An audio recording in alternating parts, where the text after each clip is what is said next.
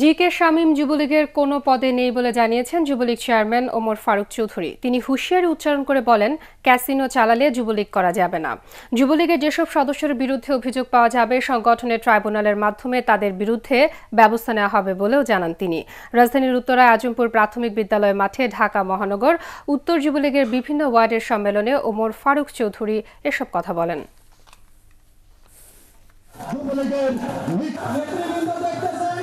টিকে সামনে কোনো কালে, কোনো সময়ে, কোনো দিন যুবলীগে কেউ ছিলেন। আমি হতবম্ব। আমি কষ্ট পেয়েছি। আমি দুঃখ, আমি চেতনা সমৃদ্ধ হয়েছে এখন। নিশ্চয়ই তথ্য প্রমাণ, দালিলিক প্রমাণ আছে বলেই এই বিষয়টি আসছে। প্রশ্নটা হচ্ছে, সাংবাদিক, আপনারা জানতেন, আপনারা বলেন নাই কেন?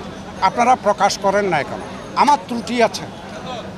আমার ত্রুটিগুলো যদি প্রকাশ করতেন, আজকে আমার উপর এভাবে বাজ পড়তো না।